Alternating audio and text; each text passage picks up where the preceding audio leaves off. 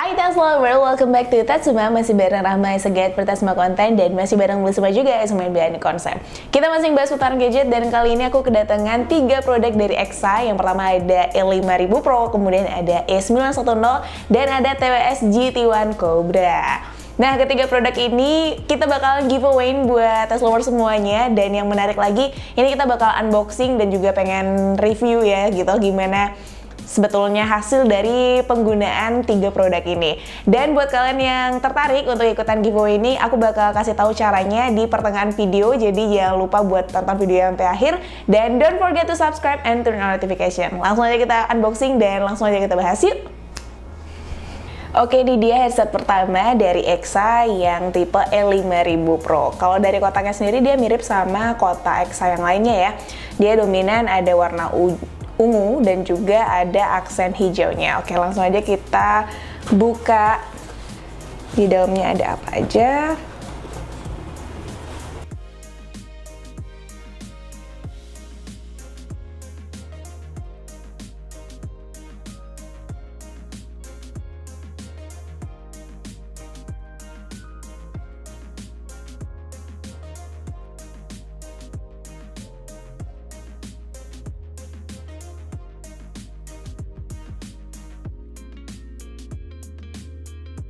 Oke ini dia udah kita bongkar isian di dalamnya. Dan yang pertama pastinya ada headset di dalam pouch ini yang ada tulisan EXA-nya kemudian ada kabel 3,5 mm dan ada kabel audio type C dan ada extender USB to type C juga.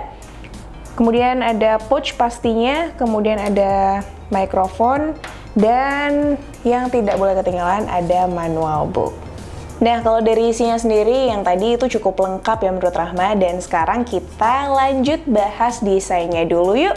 Nah dari desain sendiri menurut Rahma cukup pas ya, nggak besar tapi yang nggak kekecilan banget. Bahannya memakai plastik dan pada gagangnya menggunakan metal. Kemudian bentuknya itu bundar dan bantalan padnya juga lembut dan empuk. Jadi waktu dipakai itu enak karena dia nggak terlalu neken gitu.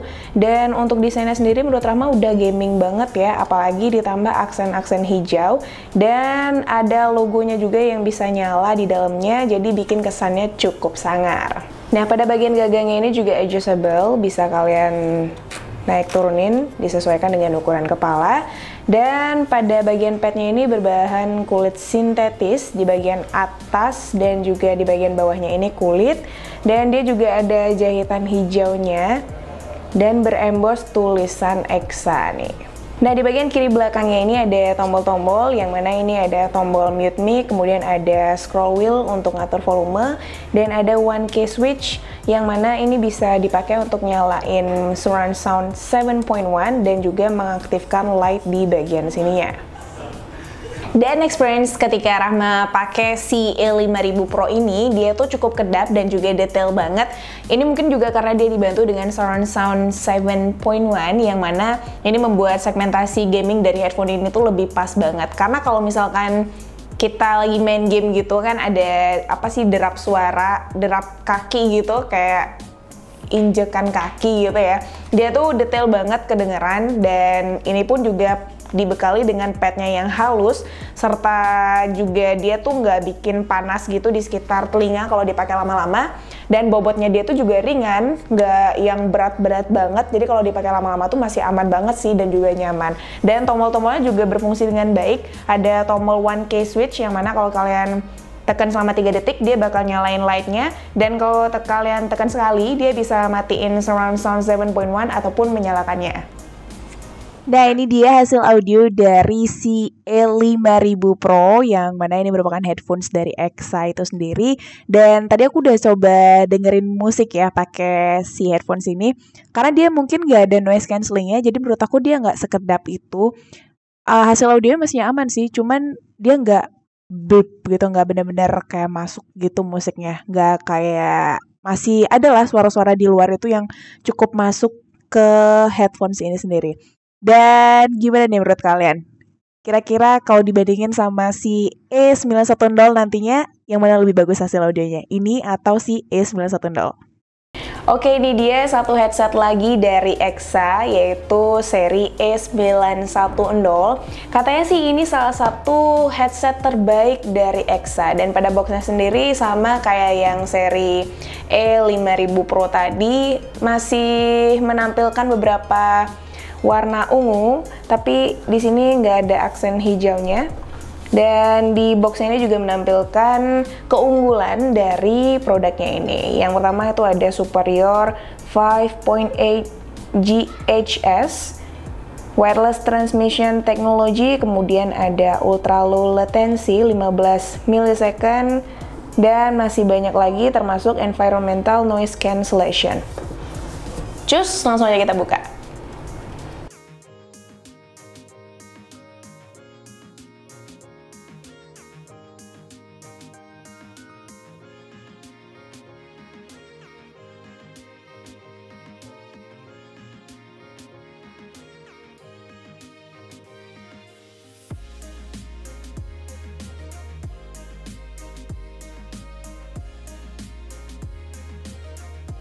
Oke ini dia udah kita buka tadi boxnya. Bisa kita lihat di dalamnya. Yang pertama pasti ada headsetnya. Kemudian ada dongle. Dan ada 3,5 mm audio cable. Kemudian ada oke okay, charger type C untuk ngecharge lah ya intinya. Kemudian ada manual booknya. Kemudian ada pouch. Dan ini ada cover untuk mic-nya sendiri Oke langsung aja kita bahas untuk bodinya sendiri. Kalau dilihat-lihat dimensinya E910 ini sedikit lebih kecil daripada si E5000 Pro. Tapi untuk bahannya ini masih mirip banget. Dia menggunakan plastik dan gagangnya sendiri juga dari metal dan untuk keseluruhannya itu berwarna hitam dan pada bagian desain depannya itu berbentuk segitiga dan memiliki motif yang berlubang-lubang Nah di dalamnya ini juga ada logo yang dapat menyala berwarna merah dan padnya juga mirip banget sama si E5000 5000 Pro dia tebal, empuk dan juga halus termasuk pada bagian gagangnya sendiri juga dilapisi dengan kulit sintetis. Lalu untuk tombol-tombolnya sendiri seperti tombol power, mute dan juga scroll wheel volumenya, kemudian ada port type C itu ada di sebelah kiri belakang ini. Dan ada yang unik juga dari headset ini yaitu mikrofonnya yang sudah tertanam langsung di dalamnya dan bisa ditarik. Tuh kayak gitu. Jadi kalian nggak perlu masang lagi ya untuk si mikrofonnya sendiri. Overall, untuk kualitas materialnya ini sudah solid dan terkesan sangar saat dipakai dan dengan adanya logo yang bisa menyala ini cukup keren dan tidak begitu norak sih menurut aku karena dia emang hanya warna merah gitu aja. Dan looknya itu emang premium sih untuk si E910 ini. Terlebih lagi kalau dibilang ukurannya tuh hampir mirip juga, cuman dia lebih kecil dan bobotnya juga aku ngerasa dia lebih ringan. Kalau dilihat antara padnya si E5000 Pro juga beda dari si E910 Kalau si E910 ini dia lebih oval gitu, lebih memanjang gitu. Kalau si E5000 Pro dia lebih bulat, bener-bener bulat banget. Dan kalau dipakai di kepala juga aku ngerasa nggak kekecilan dan juga nggak kebesaran. Kalau hasil audionya antara treble dan bassnya juga pas, dia nggak ada tumpang tindih gitu. Cuman kalau kondisi volumenya kalian maksimalin banget, bassnya itu berasa agak getar sih, tapi dia masih nyaman. Dan dia juga bisa dibilang detail gitu, karena dia ada surround sound 7.1 yang mana kalau kita lagi main game itu ada drop kaki gitu, langkah-langkah kaki itu kedengeran detail banget dan cukup jelas. Nah, terlebih lagi dia juga ada noise cancelling dan juga dia ada yang namanya low latency 15 millisecond. Nah, jadi untuk hasil suaranya jernih dan detail dan kalau aku pakai kayak gini apalagi kalau main game lama-lama menurut aku aman sih karena dia bobotnya ringan dan ukurannya juga pas di kepala aku, gak yang kekecilan ataupun kebesaran. Nah, untuk mic-nya ada di sebelah sebelah sini jadi kalian kalau mau pakai di tinggal tarik aja dan kalau ditarik pun juga gampang ya, nggak yang ada keganjal atau di mana tinggal ditarik aja. Tuh, kayak gitu. Tapi dia hanya available untuk wireless aja, jadi dia untuk nyambungin itu pakai dongle ke perangkat yang kalian mau pakai, entah PC ataupun laptop. Jadi bentuknya kayak gini, kayak flash disk. Dia tidak tersedia untuk kabelnya itu sendiri. Jadi dongle ini benar-benar penting banget sih. Kalau nggak ada dongle ini, kalian nggak bisa pakai si headphone ini. Dan untuk secara keseluruhan, menurut aku dia looknya tuh premium, bener-bener build quality-nya tuh solid gitu menurut aku ya. Dan apalagi padnya ini juga kayak kulit gitu, dia bikin adem nggak ngerasa pengap ataupun panas di bagian di telinga. Hai Tas Lover, ini dia hasil audio dari CA91 yang merupakan headphone dari EXA. Ini hasil audionya gimana nih hasilnya? Oke okay atau enggak? Nah, sebelum itu aku juga mau ngasih tebak-tebakan dulu nih. Ikan, ikan apa yang bisa dipakai di kepala? Oke, jawabannya di kolom komentar ya. So, langsung aja lanjut ke pembahasan berikutnya. Oke, tadi udah ada dua produk yang kita buka dan kita lihat isi di dalamnya. Dan satu lagi ini ada TWS yaitu seri GT1 Cobra. Nah, ini boxnya masih tetap dengan aksen warna ungu. Langsung aja kita lihat apa sih isi di dalamnya. Untuk boxnya sendiri dia cukup kecil, nggak terlalu besar gitu.